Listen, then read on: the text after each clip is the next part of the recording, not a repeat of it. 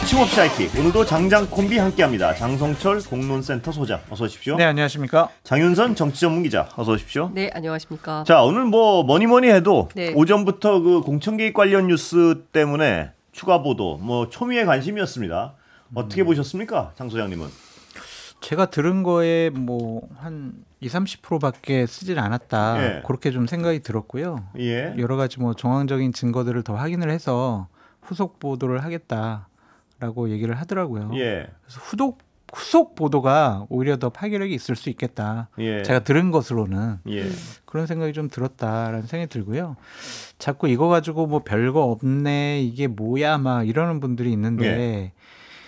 명태균 씨의 본인의 육성 녹음 파일이 사실이라면 예. 이거 어마어마한 일이죠. 그렇죠. 예. 그러니까 당은 객관적이고 공정하게 우리는 공천을 하고 있어요라는 예. 것을 보여주기 위해서 공천관리위원회를 구성하잖아요. 예. 그것이 완벽하게 무력화가 되고 명태균 씨 주장에 따르면요. 네. 그렇죠? 그 예. 명태균 씨라는 분이 대통령과 여사한테 전화를 해서 공천을 막 뒤집기도 하고 네. 주라고 하기도 하고 안 주라고 하기도 하고 이런 일이 벌어진 거잖아요. 예. 본인의 육성으로 이제 이 사실들이 밝혀졌는데 예. 만약 그것이 사실이라면 정말 어마어마한 일이 벌어졌구나 그런 생각도 좀 들었습니다. 저도 그 녹취 파일이 이번 처음 들어가지고 예. 저 어 그렇구나라는 생각이 예. 들었어요. 근데 이제 본인이 어 아니란 쪽에서는 본인이 허황되게 자기 자랑이다. 뭐 이렇게 주장을 하는 그 거. 얘기는 본인이 해야 돼요. 예. 사실은 내가 계속 이렇게 녹취해서 나온 얘기 그런 얘기 다 거짓말이고 뻥이고 예. 나 그냥 허풍이었어 예. 미안해 이래야 되는데 그러진 않잖아요. 예. 아니 미안해라고 하기에는 이거는 지난번에 이종호 씨하고 비슷한 예. 거예요. 이종호 씨도 나는 허언증 환자고 나는 사실 본인이 원래 그랬죠? 뻥이 세고? 예. 예.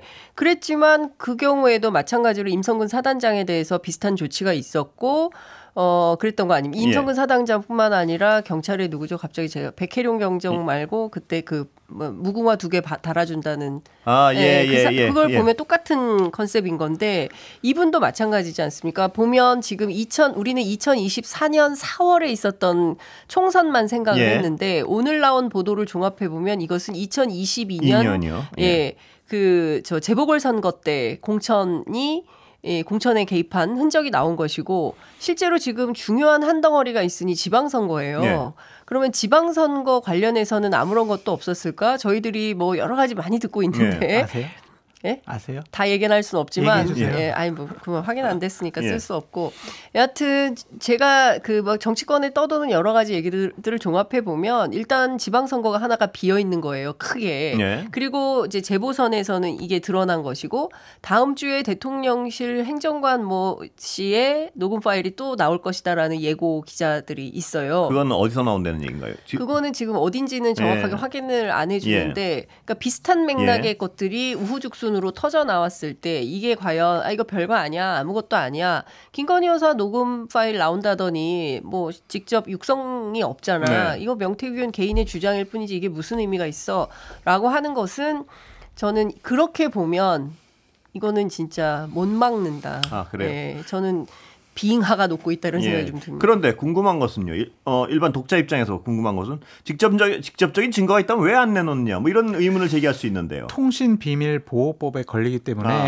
예. 뉴스토마토가 그 회사 내에 있는 변호사들하고 상의를 했는데 아. 이것이 공개되면 세게 걸릴 수가 있다라는 거예요. 그건 다시 말씀드리면 어, 대화의 당사자들이 공개하는 건 괜찮은데 그쵸. 제3자가 그, 어, 그 대화에 참여하지 않은 사람이 공개하면 그럼 통신비밀보호법에 걸리기 때문에 그건 공개 못한다. 그렇습니다. 그러니까 예. 오늘 두 개의 명태균 씨 육성이 담긴 녹음 파일이 공개가 됐잖아요. 예.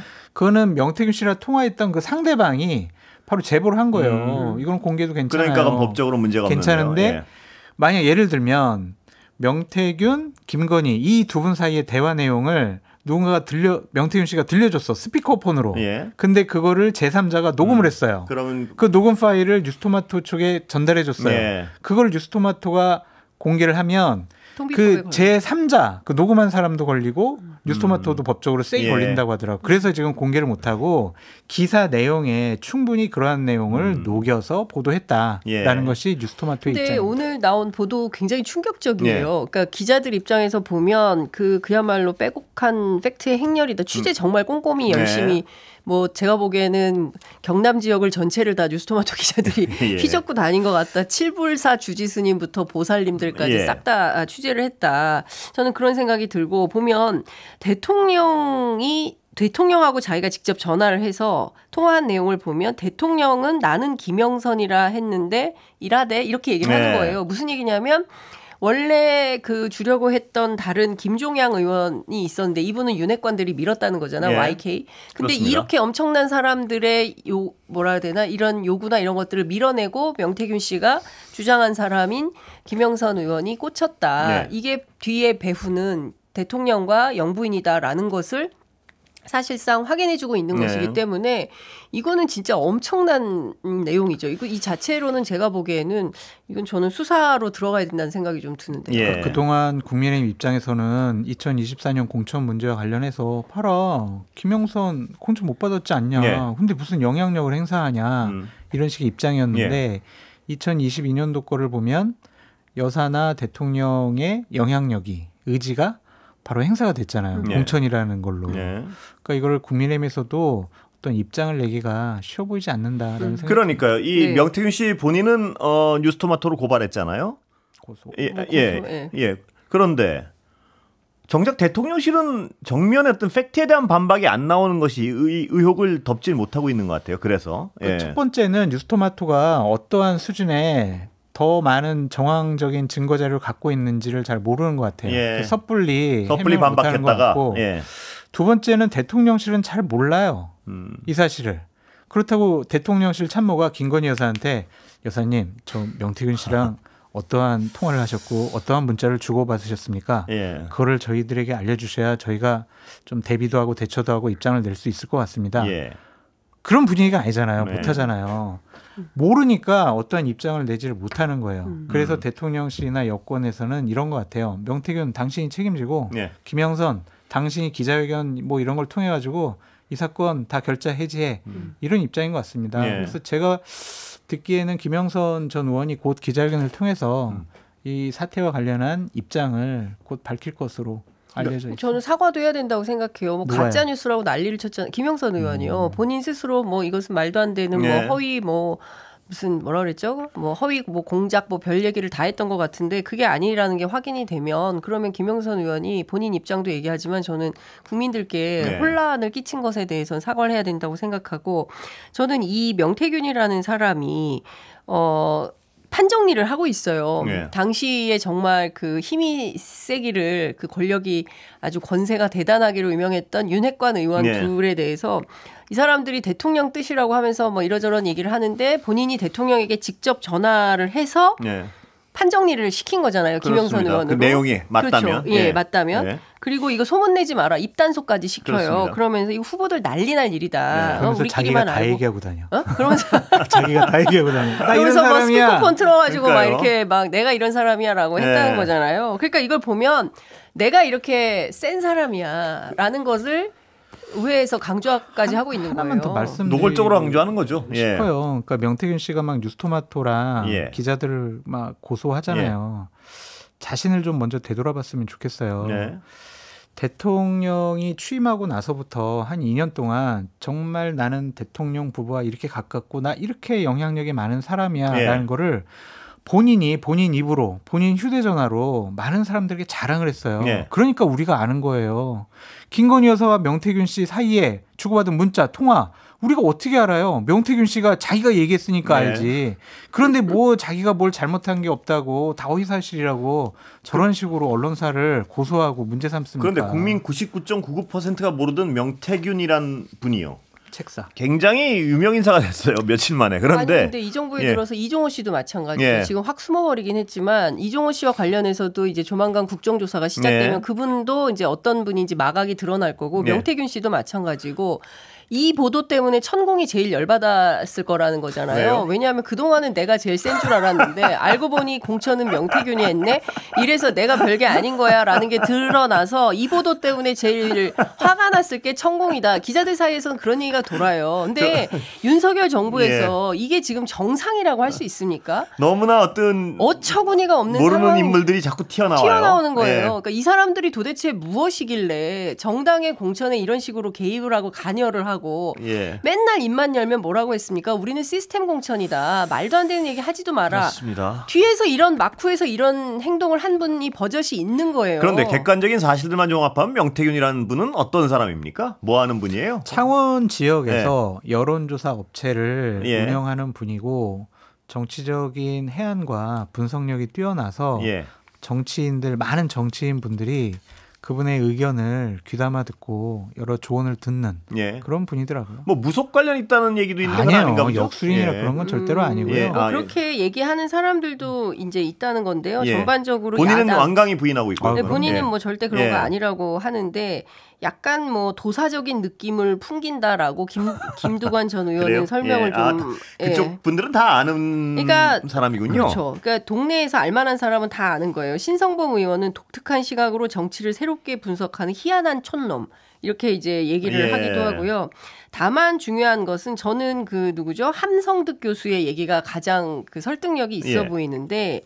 명태균과 가장 가까운 사람이 김종인, 이준석이다라는 얘기를 하면서 그 명태균이 데이터를 주면 그것을 보고 김종인 전 위원장이 판을 짰다 이렇게 얘기를 하고 있어요. 아, 그래요. 앞서 말씀하신 대로 그러니까 데이터 가지고 뭐 이러이러한 조사 결과가 나왔는데 이걸 가지고 뭔가 하면 뭐 그 저 뭡니까 김종인 위원장이 분석을 하고 판을 짜고 뭐 이런 건데 예. 막 싫어하는 이 명태균이라는 사람을 싫어하는 사람들은 무속인 역술인 뭐 이러면서 공격을 하는데 그건 음. 아니다라고 이제 얘기를 하고 있는 건데 예. 저는 알만한 사람은 다 아는 그런 정치권 지금 두 분 설명을 들으면. 짐작이 가는 것은 어, 여론조사 같은 일들 좀 하고 정치 데이터를 모아가지고 여러 가지 분석을 해서 뭐 조언. 음. 조언하고 대안도 제시하고 그러니까, 그러니까- 이- 이럴 때면 정치 컨설턴트 비슷한 역할을 그 지역에서 오래 했다 뭐 이렇게 볼 수 그렇죠. 있겠군요. 만나- 그러니까 뭐 만나보면- 선거 브로커 네. 나쁘게 에이, 얘기하면 네. 나쁘게 얘기하면 아니죠. 그리고 좋게 얘기하면 예. 전략가 음. 뭐 선거 컨설턴트 그러니까 왜 우리 그 선거 때 되면 정치 컨설턴트 쭉 예. 나오고 그분들이 주로 하는 일이 음, 여론조사하고 뭐 언론사 인터뷰 출연시켜주고 그 다음에 이렇게 저렇게 전략 전술 짜주고 이러면서 뭐 얼마씩 받는 거잖아요. 뭐 그런 거야 그런 자기. 밥벌이이거나 혹은 뭐 취미생활이거나 하는 건 누가 뭐라 그러겠습니까? 근데 문제는 이분이 대통령과 대통령 부인한테 직접 통화를 해서 지금 자기 주장에 따르면요. 네. 자기 주장에 따르면 직접 통화해서 판을 막 뒤엎고 결정된 공천을 막 뒤집어 버리고 그렇죠. 이거는 어떤 그냥 지나갈 일이 아니란 말이에요. 문제는. 예. 불법 위법한 소지가 있어 보이는 거죠. 저는 그 수사 이 사람 하나의 어떤 위법한 소지가 문제가 아니라 나라 전체가 엉망진창이라는 어떤 반증이 돼 버리니까 그러니까 이제 단순히 이제 공천 문제뿐만이 아니라 예. 뉴스토마토가 이제 후속 기사로 쓸 텐데 여러 가지 이제 영향력을 예. 다른, 아, 다른 분야 데도요. 쪽으로 영향력을 발휘했다면 예. 큰 문제가 될 수 있겠죠. 근데 이렇게 예를 들어 대통령과 대통령 영부인에게 만약 자기 주장대로 그러니까 허풍이 아니라면 어 그렇게 영향을 미칠 정도면 또 이런 분들이 어떤 자기 과실하기 좋아하잖아요. 그럼 단지 이것만이 아니고 뭐 충분히 예상 가능한 여러 가지 일들이 있을 것 같아요. 예. 글쎄요. 예. 아니 근데 그 오늘 한겨레 단독 보도에 따르면 여사님 초청자 명단에 명태균 씨 부부가 그렇습니다. 아까 어, 대통령 헬마도 취임식에 있었다는 그 거잖아요. 얘기는 잠깐 했지만 그 대통령의 부친 네, 바로 네, 뒷자리 그러니까 주요 인사 자리에 앉아 있었다는 거. 아니에요? 예, VIP들 있는 자리에 있었다는 건데 그러면 대충 견적이 나오는 거죠. 네. 이 사람이 어떤 지위에 있고 예컨대 김건희 여사나 윤석열 대통령과의 어떤 관계인지 이게 좀 대충 짐작이 되는 거면 그냥 뭐 자기 혼자 허언증에 빠져가지고 예. 말도 안 되는 소리 퍼뜨리고 다니는 그런 사람은 아닌 겁니다. 그리고 그 유력한 정치인들이 이 사람에 대해서 상세히 설명하고 있어요. 이 사람이 그, 뭐, 그동안 뭘 아, 하고 그렇군요. 다녔고 어떤 예. 사람인지 다 얘기를 하고 있기 때문에 그냥 뭐 별 볼 일 없는 사람으로 취급할 수는 없는 겁니다. 예. 제가 이 사건과 관련해서 문제로 생각을 하고 있는 건 두 가지 예. 분야예요. 그러니까 하나는 공적인 시스템이 망가지고 무너지는 예. 그러한 모양을 보여준 것. 대통령을 보좌하는 공적인 기구들이 상당히 많잖아요. 그렇습니다. 예. 근데 명태균이라는 아무리 뛰어난 분이라고 하더라도 비선이잖아요. 예. 어떠한 공적인 권한을 갖고 있는 분이 아니란 말이에요. 이런 분이 대통령이나 여사한테 전화해가지고 이러세요 저러세요라고 했는데 대통령과 여사가 그거에 영향을 받아가지고 여러 가지 공적으로 시스템적으로 다 준비되고 결정난 것들을 뒤집는다면 이거는 제대로 국정 운영을 하고 있다라고 보기는 예. 어려운 것 같고 만약 사실이라면 말입니다. 만약 본인이 주장한 게 사실이라면 최순실보다 덜할 게 뭐가 있습니까? 이런 상황. 그러니까 그런 점들이 앞으로 계속 언론 보도를 통해서 밝혀지게 된다면 상당히 여권 자체가 상당히 흔들리고 무너지는 중요한 발화점이 예. 이번에 된 것이 아닌가라는 좀 생각도 들고요. 예. 이것 때문에 막 싸우더라고요 지금 누가요? 여권 내에서요? 한동훈 지지하는 분, 예. 이준석 지지하는 분, 윤석열 대통령 지지하는 여권에 하나가 돼가지고 야권과 대항해야 되는 그 음. 지지자들이 예. 너는 어땠냐, 너는 어땠냐 하면서 댓글에서도 싸우고 지금 다른 커뮤니티에서 싸우고 난리가 아니에요. 예. 그 여권이 분열돼 버렸어요. 음. 이거는 상당히 큰 문제가 아니냐 예. 그런 생각이 좀 듭니다. 그럼 예. 저는 그 대통령도 대통령이지만 이 명태균이라는 사람이 김건희 여사에게 직보하는 그런 대목도 있어요. 어떤 이번 부분이죠? 예. 총선과 관련해서 어, 지난 2월 18일 오후 9시 38분 이제 통화 내용인데 예. 김영선 컷오프야. 여사가 직접 전화 왔어. 이렇게 얘기를 하면서 그러니까 빨리 기사 내갖고 확인하고 그 기사를 여사한테 줘야 돼요. 예. 음. 나한테 빨리 보내. 이렇게 지시를 하거든요. 이게 무슨 얘기냐면 김영선 의원이 본인이 오선 국회의원으로서 선당 후사하는 차원에서 그때 당시에 이제 영남 중진 차출론이 있었잖아요. 그래서 본인의 결단에 의해서 김해 갑으로 가는 걸로 알고 있었는데 김영선 컷오프라는 사실을 2월 18일에 이 사람은 알고 있는 거예요. 예. 그럼 도대체 2월 18일에 이 사람이 어떻게 이 내용을 알고 있었던 건지 이 사람은 국민의힘하고 아무런 이게 연고가 없는 사람이잖아요. 그럼 도대체 누가 이 사람한테 이 내용을 알려준 건지 그- 그, 리고 그 김건희 여사는 도대체 이걸 어떻게 예. 알고 명태균 씨에게 이런 얘기를 해주고 빨리 이거 처리한 다음에 저한테 알려주세요라거나 보고하라고 했는지는 모르겠지만 뻥이에요. 뻥이에요? 라고 이제 명태균 씨가 얘기하지 않으면 기정사실화 되는 거죠. 아니 이게 다 녹음에 있는 거잖아요. 근데 명태균 씨가 마, 제가 허, 어, 이종호 씨처럼 제가 허풍 떨었습니다 해도 이 의혹이 가- 어, 쉽게 가실 수가 없는 게 앞뒤 맞아 떨어지는 부분이 너무 많은 거 아니에요? 그렇죠. 그리고 그리고 그날 그분이- 오후 10시부터 기사가 나오잖아요. 예. 김영선, 김혜갑 출마 선언. 그 예. 명태균이라는 분은 자존감과 예. 자신감이 되게 넘치는 분이거든요. 예. 본인 입으로 허풍이라는 얘기는 안 아, 할것 같습니다. 그럴 것 같습니까? 네. 그런 문제는 가라앉지 않는다고 봐야 되는 건데요. 그렇게 봐야 될 것 같아요. 예. 그런데 이 어떤 여파가 개혁신당이 말려 들어가고 있는 건 뭔가요? 좀 정리 좀 해주시죠. 예. 자꾸 이걸 개혁신당 쪽에 이준석 대표 이런 부적절한 뭐 자꾸 그런 분을 그런 부분을 지적하는 분들이 있는데 예. 그러니까 그것이 과연 뭐가 잘못됐을까라는 좀 생각이 예. 들어요. 김영선 의원이 평소에 친분이 있었는데 예. 만나서 아 나는 김건희 여사랑 이러한 문자를 주고받았어. 예. 나 이거 다 보여주고 아 나 이거 폭로 기자회견 할게. 나 개혁신당 1번 줄래? 3번 줄래? 예. 이렇게 김영선 의원이 요구한 거 아니에요. 예. 그거를 이준석 대표랑 개혁신당의 지도부들이 모여서 김영선 의원이 이런 요구를 해왔는데 이거 어떻게 할까요? 아 이거는 안 돼. 우리 개혁신당과 맞지 않는 사람이야. 그거라면 문제가 안 되는데 공격하는 쪽에서 뭐라고 공격하기 때문에 문제가 되냐면 그걸 보더니 이준석 대표 측이 어느 게 사실인지 모르죠. 이준석 대표 측이 야 이걸 이렇게 좀 자극적으로 기자회견을 해주면 1번을 줄게 이렇게 제안을 했다고 주장을 하는 거예요. 공격하는 쪽에서 이준석 대표가 예. 그건 아니다라고 오늘 예. 아침에 입장을 다시 거기 입장이 다른 것 같아요. 예. 그런 쪽으로 막 이준석 대표가 잘못했어 부적절한 선택을 한 거 아니야 이런 쪽으로 몰고 음. 가는 것은 예. 현 시점에서 보면 좀 무리한 비판이 아니냐라는 예. 생각이 좀 들어요. 예. 근데 저는 예. 그 내용이 뭐냐 이거예요. 네. 그러니까 김영선 의원이 들고 온 내가 폭로 기자회견을 하겠다라고 예. 들고 온 그래서 이준석 대표하고 소위 2월 29일 칠불사에서 밤샘 회동을 예. 새벽까지 둘이 그 주지스님 방 안에서 예. 둘만 새벽까지 있었다는 거잖아요. 그럼 예. 새벽까지 둘이서 논의했던 내용이 뭐냐. 그러니까 김영선 의원이라는 사람 정말 황당무계한 분인데 예. 어 국민들한테는 내가 거룩하게 에? 뭐 선당우사 차원에서 김해갑으로 간다 막 이런 얘기를 해놓고 뒤로는 여차하면 개혁신당 티켓 끊어가지고 그랬다는 얘기죠. 튈 생각을 지금? 했던 예. 거잖아요. 그런 게 다 드러난 거 아닙니까? 장 기자님 흥분을 가라앉히겠습니다. 수돗물 이렇게 드셨던 분인데 근데 제가 진짜 국민들 입장에서는 그 지역구 국회의원 아니 주민들이나 이런 분들 입장에 생각해보면 정말 황당한 거예요. 근데 이게 저는 궁금한 게 하려고. 이게 무슨 어, 정치 드라마 같잖아요. 절에 가가지고 그런데 이 그 이게 어디 캐시골이죠?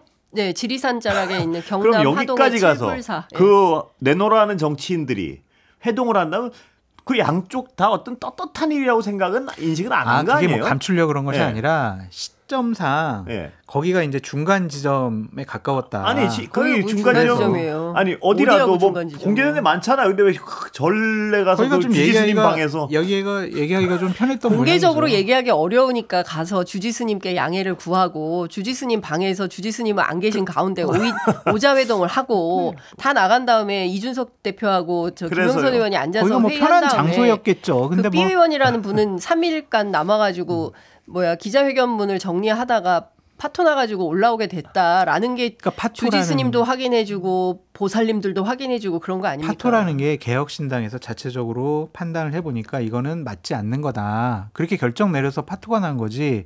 뭐 더 많이 폭로해라 막 이렇게 붙이거나 막 그런 건 아니잖아요. 아니, 저도 그건 네. 아니라고 생각해요. 그리고 기사의 맥락도 그건 아니에요. 예. 그러니까 김영선 의원이 이런 요구를 했던 것은 사실인데 네. 그렇죠. 이준석 대표는 그거를 받아들일 수는 없다. 예, 김종인 당시 예, 위원장도 마찬가지고요. 그렇죠. 그리고 네. 김종인 위원장도 너무 세게 본인만 자랑하면 안 된다고 어, 생각하는 개혁신당 핵심들이 있어요. 무슨 예. 얘기냐면 3월 1일 날 예. 금태섭 의원이 종로에서 개소식을 했는데 그 개소식하던 장소 2층에서 개혁신당 관계자들이 모여서 이 문제로 회의를 했다는 거예요. 예. 음. 김용남 의원에 따르면 회의를 했는데 무슨 1번이야 불가능해 네. 개혁신당 이러면 이미지가 망가 맞아요. 1번도 떨어져. 네. 개혁 저 비례대표 1번도 안 돼. 이런 회의를 해서 쫑을 냈다는 예, 거예요. 그렇죠. 그러니까 그런 내용을 종합을 해보면 김종인 위원장의 독자적인 판단 때문에 이게 뭐 정리됐다. 음. 이렇게 하는 거는 아. 오바다. 예. 예. 김종인 위원장의 오바고 그렇게 하면 안 된다는 거고요. 정상적인 정당에서의 검토 시스템이 작동된 거다. 그렇게 봐야 되겠죠. 근데 저는 네. 중요한 포인트는 그 내용이라는 거예요. 김영선 의원이 폭로하려고 했던 그 내용이 도대체 무엇이길래 네. 어 이런 판단까지 간 거냐. 그러니까 상당히 근거가 있고 센 내용이니까. 그러니까 예. 폭로 기자회견을 하려고 했었던 거고 그런데 과연 그 딜의 조건으로 걸었던 비례대표 1번을 달라는 요구는 거절할 수밖에 없었대. 그거는 나중에라도 문제가 생길 수 예. 있으니까 그럼요. 그건 안 된다라는 판단을 한 거잖아요. 근데 뉴스토마토 일보 보도처럼 어 그 김건희 여사가 김영선 의원에게 창원에서 김해 갑으로 가라. 네. 그리고 만약에 안 된다면 대통령의 맞춤 공약으로 도와주겠다라고 네. 했다면 이거는 그게 만약에 확인이 되면 이거는 어마어마한 네. 문제가 되는 거죠. 이게 예. 그냥 우리들의 일그러진 영웅의 엄석대라는 친구가 있잖아요. 예. 공부도 잘하고 운동도 잘하고 예의도 바르고 엄석대는 공부는 별로 안 잘했을걸요. 아니요 공부 잘했어요. 그랬나요? 제 기억은- 1등 했어요. 예. 왜냐하면 공부 잘하는 애들이 대리 시험을 쳐줘가지고. 아, 예, 그렇죠, 그렇죠. 근데 예. 나중에 하나가 밝혀지니까 아니에요. 쟤는요 이런 나쁜 짓 했고요. 아, 그렇죠. 이런 나쁜 짓 했고요. 네. 거짓말 시켰고요. 누구 때리라고 했고요. 도둑질 하라고 했고요. 막 서로 손들면서 그렇죠. 제 잘못을 막 그 공격을 하잖아요. 담임 선생님한테 이르죠. 예. 그거의 발화점이 이번 사건이 아닐까라는 음. 생각이 아, 들어요. 그래요. 국민들한테 이르기 시작한 것이다 예, 그러면 그동안 우리가 흉흉하게 소문만으로 들었던 예. 여러 가지 일들이 이제 많이 밝혀지는 계기가 되지 않을까. 그래서 아. 여건이 대단히 힘들 것 같다. 그런 생각이 좀. 드네요. 예. 그렇죠. 이게 사실상 태블릿 PC 박근혜 정권이 몰락했던 그 결정타였던 태블릿 PC 아니냐라는 얘기가 나오고 있고요. 아시는 것처럼 갤럽 조사 최저치 찍었고 예. 이번 주엔 조사가 없지만 다음 주에 의료 대란 문제가 뭐 풀린 게 아니거든요. 예. 그래서 저는 정권이 지금 한가롭게 이거 아무 문제 아니다 뭐 이렇게 대응했다가는 정말 큰일 날 것 같다라는 생각이 근데 좀 지금. 여건의 위기 상황이나 비판적 시각이나 이걸 반영하는 게 오늘 필리버스터 안 한 것도 반영이 된 건가요? 어떻게 보세요? 아니 그 어느 의원이 네. 김건희 여사는 잘못 없고요, 억울하고요, 정치 공작에 당했고요. 아, 그거를 역사의 기록으로 남기겠냐고요. 그러니까 현재 여건의 상황을 반영한 건 분명하다 이렇게 해석하시는 곤란하다고 봐야 그렇죠. 되겠죠. 아니 추석 때다 예. 다녀왔잖아요 음, 예. 지역에 다녀와서 두 가지 얘기 들었을 거예요 하나는 의료 대란이고 예. 하나는 김건희 여사의 마포대교 문제가 세게 얘기가 되지 않았을까 싶어요 그러면 지역구 국회의원 여든 야든 그 얘기를 다 들어서 맞아요. 의회로 오는데 그걸 가지고 방어가 불가능하죠 왜냐하면 대체로 이런 결정은 의원총회가 시작되면 뭐 30분 안에 결정 내서 일보가 예. 나오게 되어 있는데 오늘 1시간이 넘도록 오후가 아, 되도록 결론을 그렇군요. 못 냈어요. 예. 결국 2시 앞두고 어, 마지막으로 거부권 예. 아니 저 뭐지 불참하기로 결정을 내린 아. 거거든요. 그러니까 그만큼 국민의힘 내부도 대단히 흔들린다. 복잡하다. 예. 오늘 두 분 말씀 여기까지 듣겠습니다. 감사합니다. 네, 감사합니다. 감사합니다. 성철 장윤선 두 분이었습니다.